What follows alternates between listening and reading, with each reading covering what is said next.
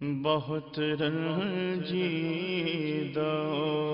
غمگین مدینہ مدینہ؟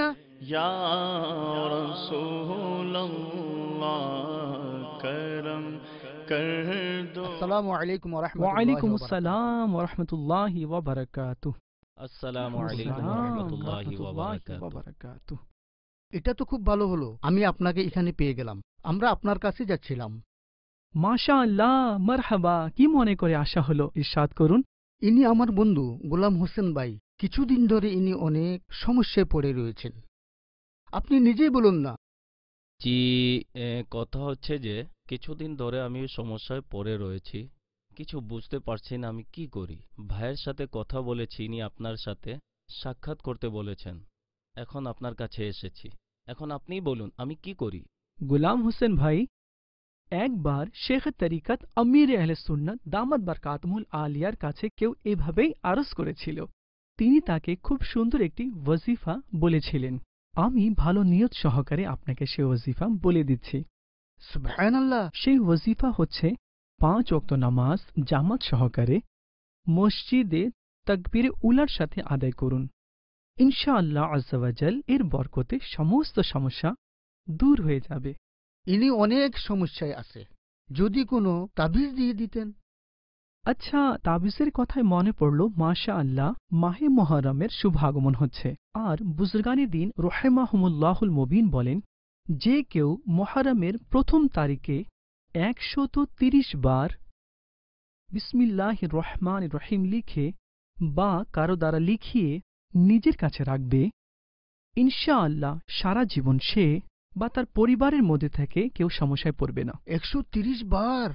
এখন আপনি এই কথা বললেন কি নিজের কাছে রাখার জন্য? কিন্তু নিজের কাছে কীভাবে রাখব?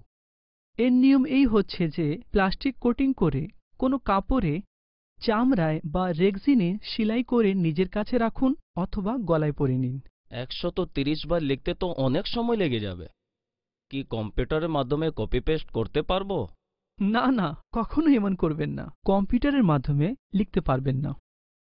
নিজের হাত দিয়েই একশো তিরিশ বার লিখতে হবে। হ্যাঁ আপনাকে বলছি আয়রাব অর্থাৎ জাবার জের পেশ এর মধ্যে লিখার দরকার নেই। এক কাজ করি একশো বার আমি লিখে নিচ্ছি এরপর ফটোকপি করে আপনাকে দিয়ে দিব। না এভাবে করতে পারবেন না। হ্যাঁ নিজের হাত দিয়ে লিখে আপনি অন্যান্য ইসলামী ভাইদেরকে দিতে পারেন। কারি সাহেব এটা আমরা কতক্ষণ নিজের কাছে রাখব? একবার লিখে নিলে সারা জীবনের জন্য এটা যথেষ্ট হয়ে যাবে। লেখার সময় কথা মনে রাখতে হবে যাতে করে মুছে না যায়, তাই বল পেন বা অন্য কোনো কলম দিয়ে লিখে নিন।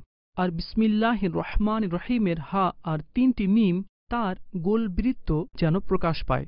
আর এই কথা মনে রাখতে হবে, তাবিজ লিখার নিয়ম হচ্ছে কোনো আয়াত অথবা ইবারত লিখার সময় তার প্রত্যেকটি গোল বৃত্তের হরফগুলো খুলে রাখতে হবে।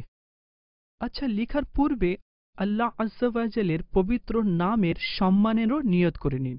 রেওয়ায়তে বর্ণিত হয়েছে হজরতে সৈদুনা আনস রাদিয়াল্লাহু তাআলা আনহু বলেন রসুল্লাহ সাল্লাহু তাআলা আলিহি ওয়ালিহি ওয়াসাল্লাম ইরশাদ করেন, যে ব্যক্তি আল্লাহ তাআলার সম্মানের জন্য ভালোভাবে বিসমিল্লাহির রহমান রহিম লিখবে, আল্লাহ আজ্জাওয়াজাল তাকে ক্ষমা করে দিবেন। জাজাক আল্লাহ কারি সাহেব।